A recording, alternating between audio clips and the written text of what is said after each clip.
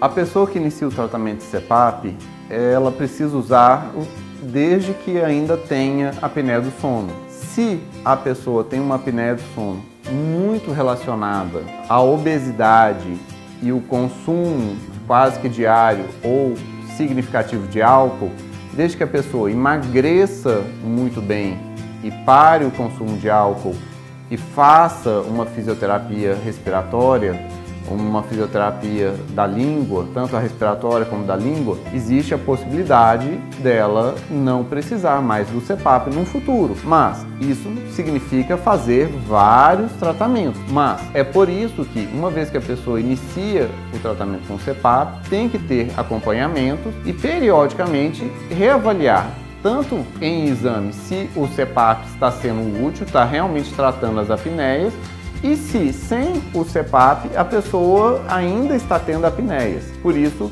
que tem que ter um acompanhamento, não é apenas um tratamento e a pessoa segue sozinha. Mas se a pessoa não tem fatores causais muito claros, muito determinantes e ou é uma somatória de fatores causais, e uma vez que a apneia se instalou, o normal e o esperado é que a pessoa continue usando o CEPAP todas as noites. Isso é que nem óculos. A pessoa, uma vez que precisou, ela tem mais chance de continuar precisando de usar ele do que a chance de chegar um belo dia e não precisar mais. Mas, como tudo, depende da individualidade e daquele caso específico daquele paciente. Se você gostou dos nossos vídeos, se inscreva no nosso canal dê aquele like, deixe os comentários, clique no sininho para receber as notificações e compartilhe, pois conhecimento, quanto mais difundido, melhor para todos.